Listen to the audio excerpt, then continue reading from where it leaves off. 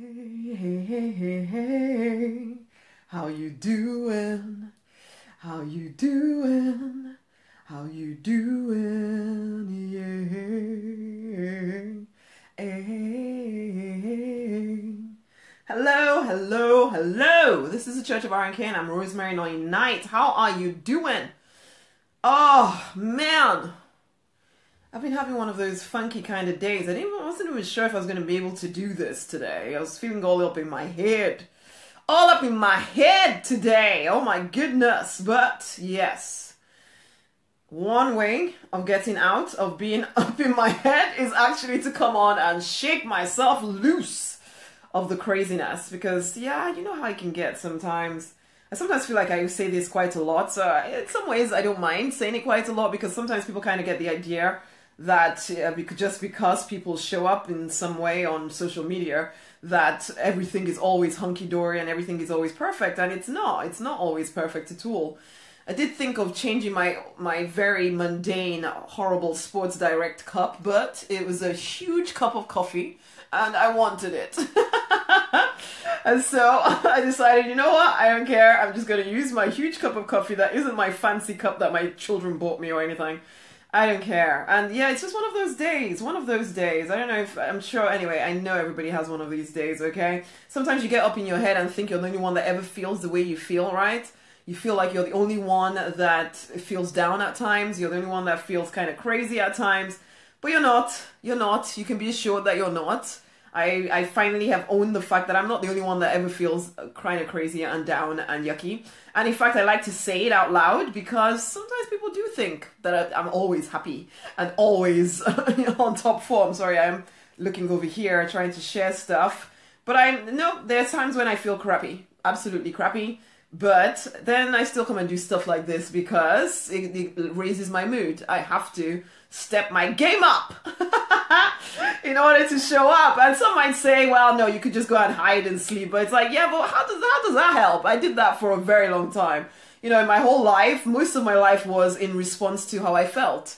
I lived a life that was in response to how I felt. So if I felt bad, I didn't show up. If I felt good, then yes, I was the life of the party. but if I felt, yeah, so when I felt rubbish, then nobody saw me or I just grunted and groaned at everyone. And that doesn't get me, well, it definitely didn't get me anywhere. So now I've, I've learned to disregard how I feel in some ways and decide what do I want. If I want the goal, if I want the goal of 334,000 people, financially independent, living free lives, all of that stuff, then you know what? It doesn't really matter what I feel. like on any given moment, I just show up anyway. I just show up anyway. I find the time to show up anyway and just get on with it. So, funky mood or no funky mood, it doesn't matter. It doesn't matter. It doesn't matter. Of course, you know, tomorrow I might feeling even funkier, who knows, but usually I have these uh, down days and then I have a great day the next day and then it's like, oh, for goodness sake, being creative comes with its own dramas, which is again, as a creative entrepreneur, as a creative spiritual person, you will have ups and downs when it comes to your mood. And if that determines whether you show up or not, then you have no chance.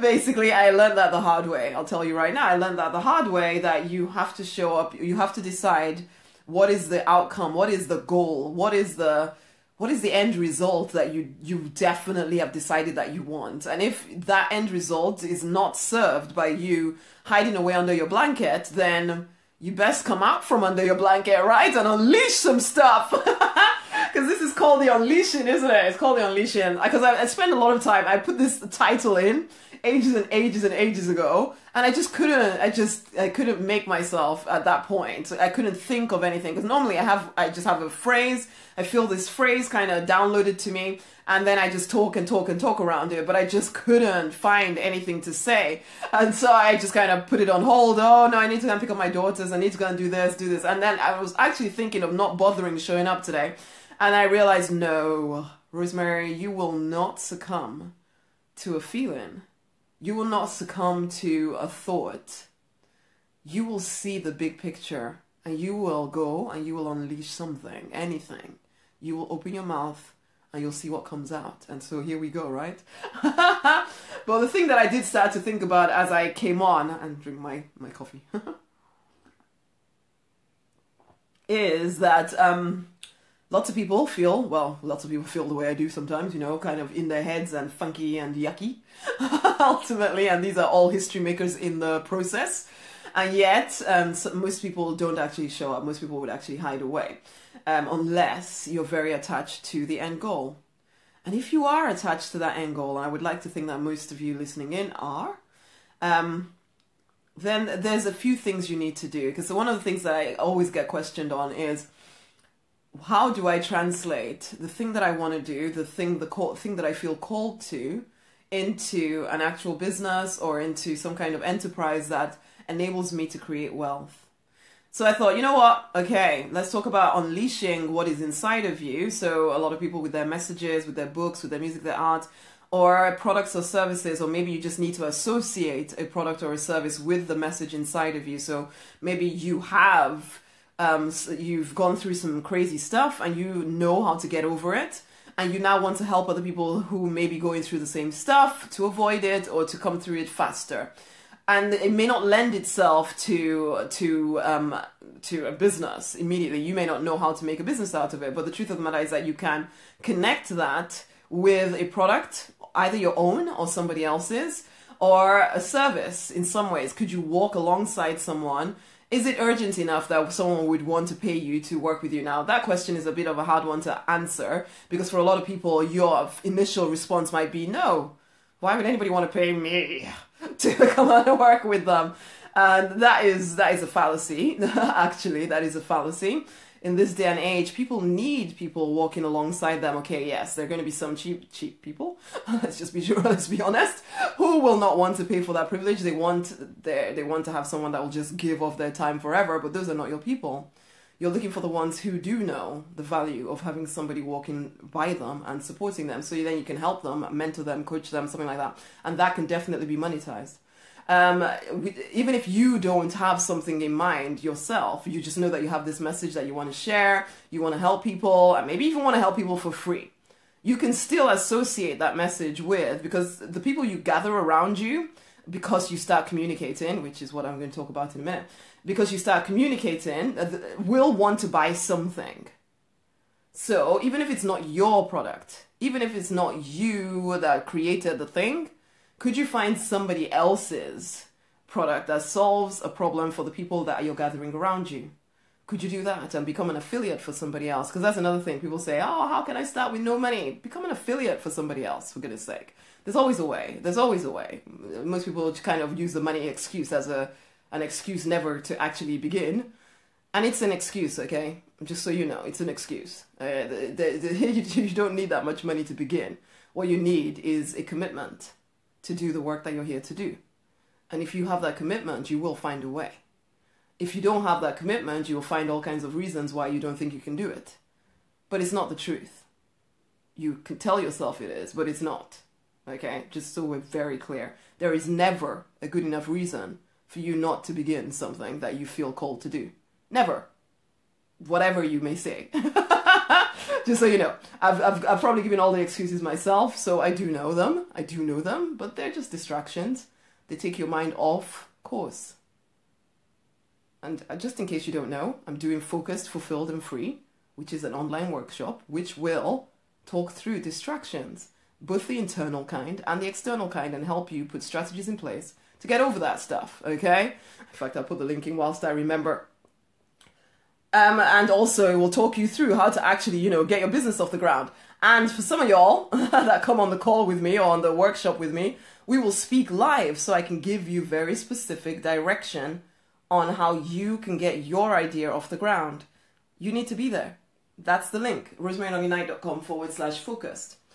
But anyway, so in terms of unleashing, I, I wrote a post earlier about and, and this was this was my story for a long time. There was just something inside of me that really wanted to express itself, or maybe I wanted to express myself. But I always felt I was too proud. I felt I was too yeah i should just i should just swallow it and and you know serve somebody else's vision for the rest of my life or something something something which was always the because i was brought up christian as well well i was brought up catholic then turned christian and then you come into churches and everybody just try and tell you to to to follow along with somebody else's vision and such and such and such. And most people kind of buy into that. And that's fine. Maybe it's fine for them. But it was fine for me for a season. But after a while, I realized no, this cannot be the permanent season. And and whenever you start to talk about trying to go after your own vision, there can be talk of how proud you are or how you are just looking for significance in the wrong way. And, and you might buy into that stuff, which will mean that you then try to swallow the fact that you do have something inside of you that you want to put out into the world. And I did that for a very long time. I kept trying to jump through the hoops and, you know, keep everyone satisfied around me so that one day I would get an opportunity of my own. And I suddenly realized that God had always been telling me, uh, honey, you know, you can create your own opportunity, you know? Basically, you don't need to wait for anyone's permission to get to begin. And I suppose that I, that might be a word for some of you listening in to me that you don't need to wait for permission. Nobody's going to suddenly ordain you. Well, maybe they will if you've gone through there, if you've jumped through enough of their hoops. But do you want to? Do you really want to continue to jump through other people's hoops in order to be worthy? You're worthy now. You have a vision now, and your vision is your permission. You just have to choose to commit to it. That's the thing. Are you committed to it or are you scared? I was scared. And I even used to tell myself that no, I am just I'm just supposed to be supporter. I'm just supposed to support other people. And I used to tell myself that because I didn't want to stand out in that way.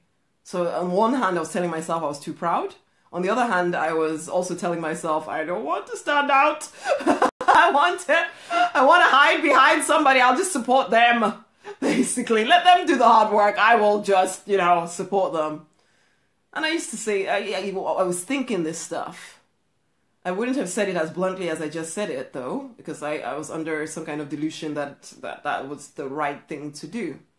But I was just wasting time, truth be told, wasting time.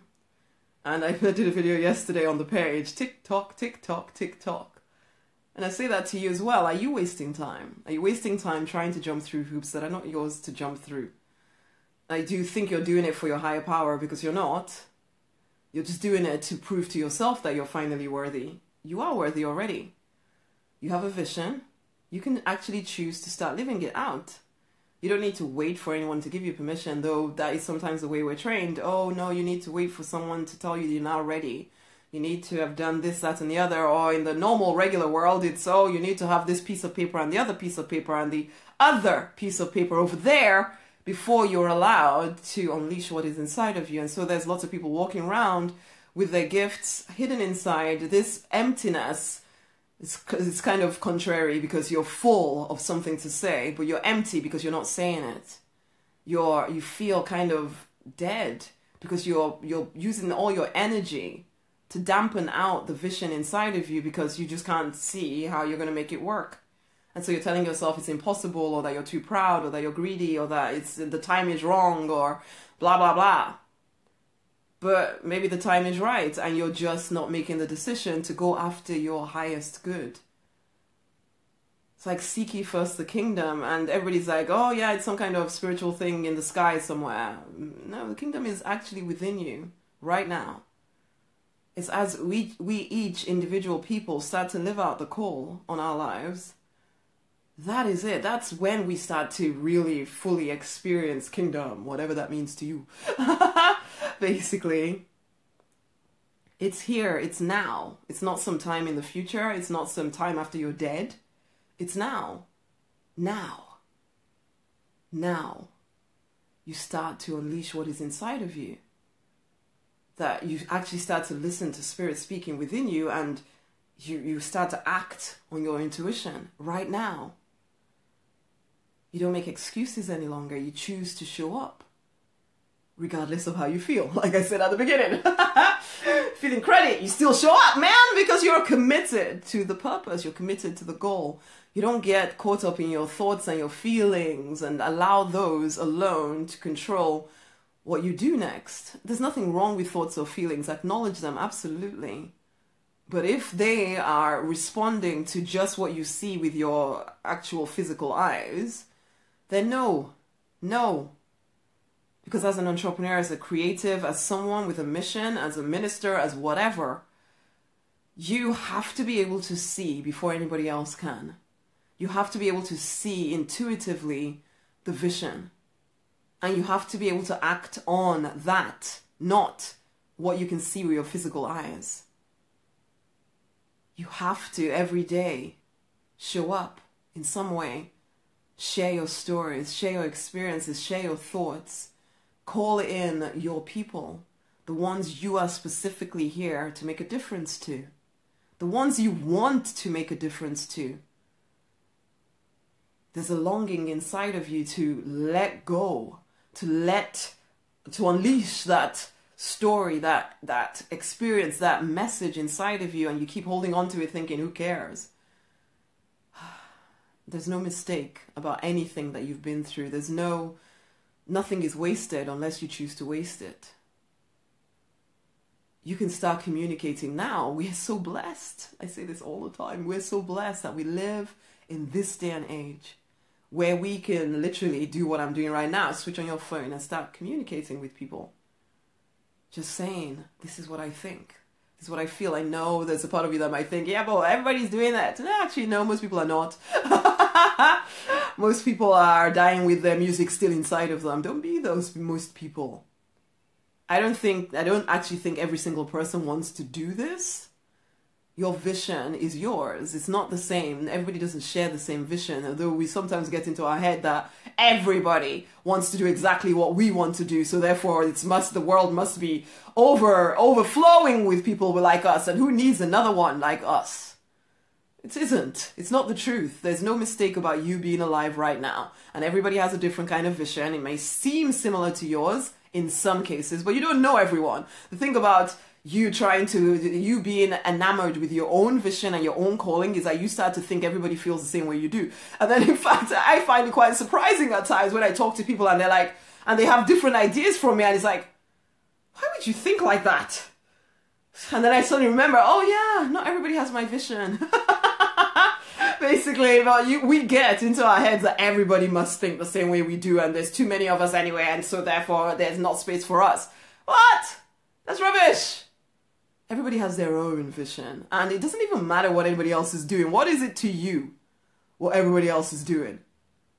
Are you doing what you're supposed to be doing? Are you communicating? Are you daily putting yourself out there, communicating who you are, communicating what you have to say? Because you don't know whose life you could impact. I've had clients who send me um, messages or when we speak on the phone and they say, Oh my gosh, somebody sent me through a private message saying, Thank you I've been listening to you for the last year. And it's like, I, I don't even know them. They've never even clicked like. and yet, I've impacted their life. And that, that uh, for people like us, we want to make a difference.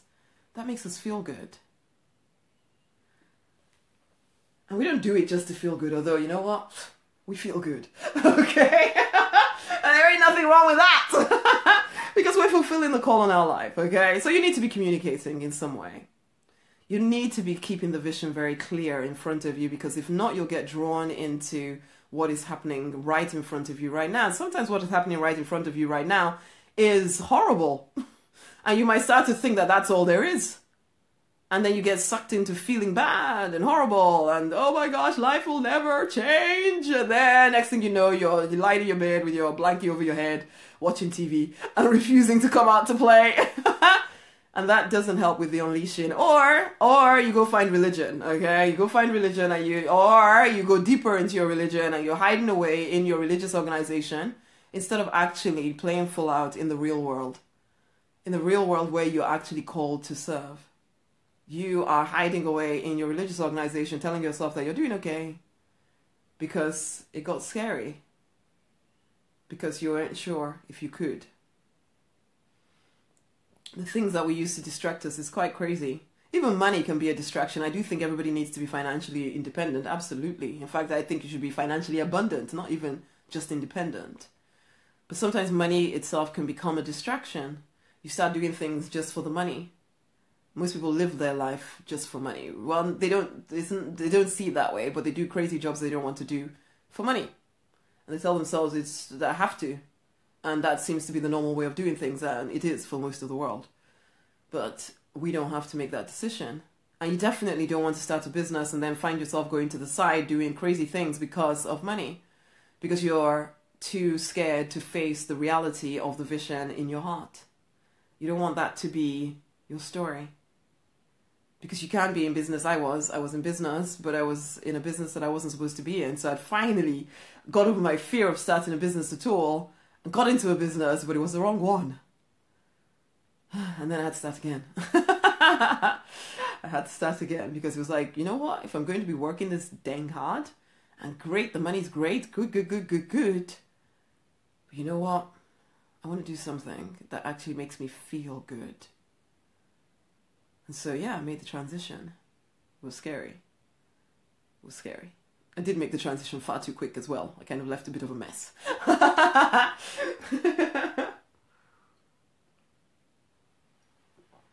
anyway, so you need to be communicating daily.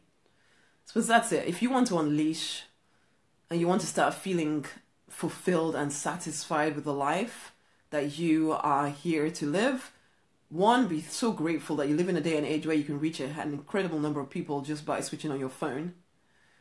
Don't be distracted by social media. Use it in a way that pro- propagates your message. Communicate. Regardless of how you feel, regardless of whether you think anybody wants to hear what you have to say, you need to say what you have to say. And there's nothing wrong with you just getting on with it. Not just to your friends and family, they will humor you, but they're not necessarily the ones you're here to serve. Go beyond that. Actually, choose to do it deliberately. Deliberately design a business around your books, your music, your art, your message, your story. Design a business around it so that I actually can become the thing that supports you financially uh, and you're getting your message out, making a difference. You're unleashing that thing inside of you because you go looking elsewhere, anywhere you go looking for satisfaction, you won't find it because you're not doing the thing that you're here to do. You have to find the courage to do what you're here to do. You have to find the courage and the focus to stop looking to the side all the time. Looking to see what others are doing, looking to see whether anybody likes you. It doesn't matter. You have to do what you're here to do, regardless of what anybody else's response is to it, truth be told. You do it anyway. You do it because you must. You do it because you're born to. And yeah, sometimes that's disheartening. It makes you wonder, why do I bother? You bother because you must. That's what you're here for. You're fulfilling the call in your life. That's why you do it. You cannot allow other people to determine whether you live out the call in your life or not, or whether you live a fulfilling life or not. You cannot allow that to deter, deter you from your path. Choose to deliberately design a successful business around it and live out the call in your life.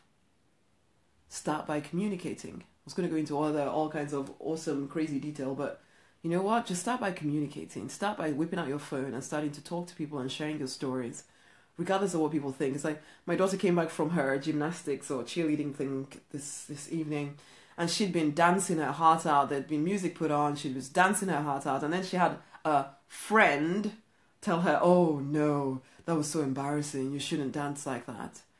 And I, was, I had to tell her that is so people. People do that when you start to live out the call in your life.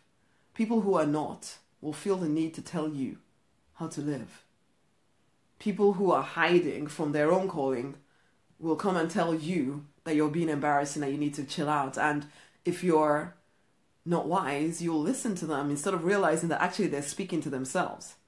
They are embarrassed that they're not able to step up to the plate. And, and they're trying to, to put you off your own. Don't let people control whether you live out the call in your life or not, whether they're friends or family whether they're unknown haters, basically. Don't let them determine your life. You're here for a reason. You're here to make a difference. The only one that determines whether that will be your story or not is whether you show up, is whether you finally get over your internal crazy and decide that I, I don't care anymore. I am doing what I'm here to do. I refuse to play small any longer. I refuse to hide away. I will unleash myself. Oh, yes. Oh. I feel the excitement of seeing that myself. So this is my uh, encouragement today that regardless of how you feel, what you think, what you think is going on, what people say to you, any of that stuff, unleash. Let loose, let go, let us hear the message inside of you. It is time for you to start speaking, to start showing up. Do the work that you're here to do. Forget about what anybody else is doing or thinking or saying. This is your life, your one life.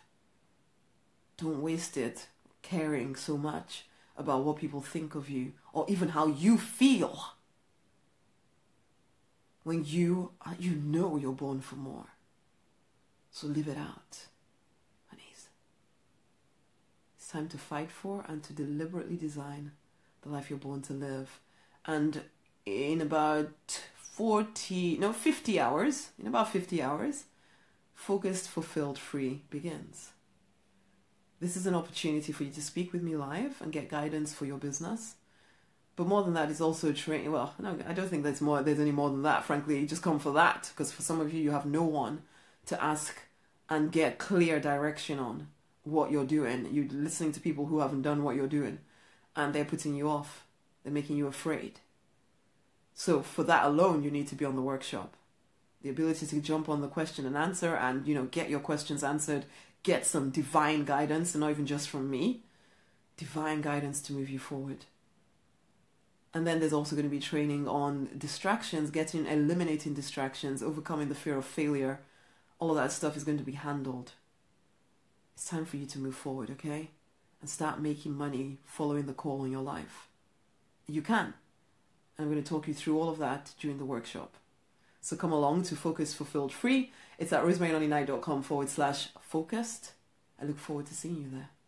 I look forward to working with you there. Oh, it's going to be fun.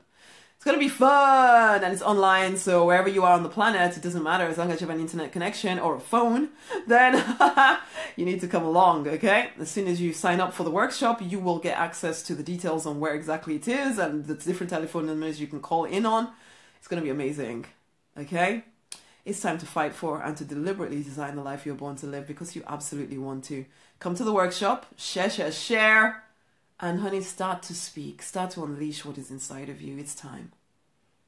It's time. Until the next time, much love.